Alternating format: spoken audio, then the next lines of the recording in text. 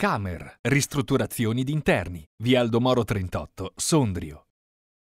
Il verdetto della soprintendenza ha messo finalmente i titoli di coda sulla telenovela legata ai lavori effettuati nella sede della Proloco di Morbegno. Tutto cominciò con la segnalazione alla soprintendenza delle belle arti inviata lo scorso ottobre dal capogruppo di minoranza Andrea Ruggeri.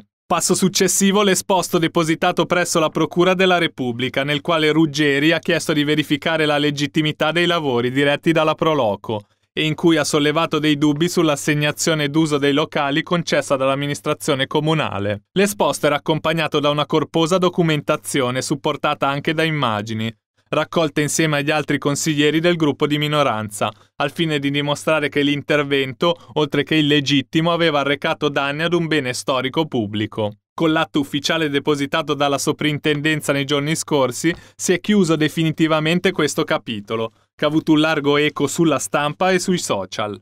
Nel parere dell'ente si evince che le opere incriminate sono compatibili con la tutela sull'immobile in rapporto alle normative vigenti, quindi i lavori sono in piena regola.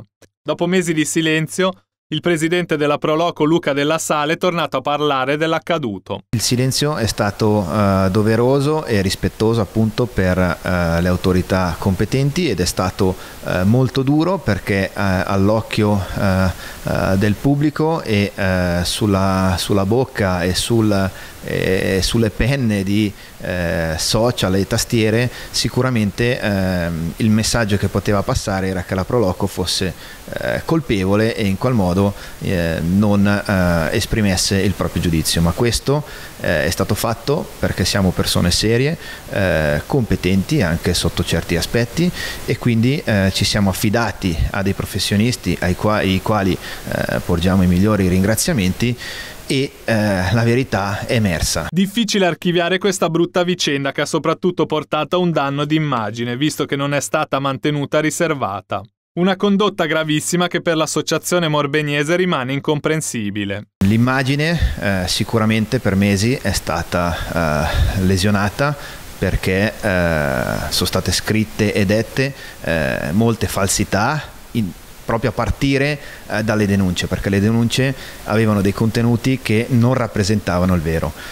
Chi non ci conosce e non sa come operiamo è stato legittimato a, a pensare che non avevamo agito in modo corretto. Per noi è stato comunque motivo di grande orgoglio la possibilità di poter avere un ufficio in questo monumento della città.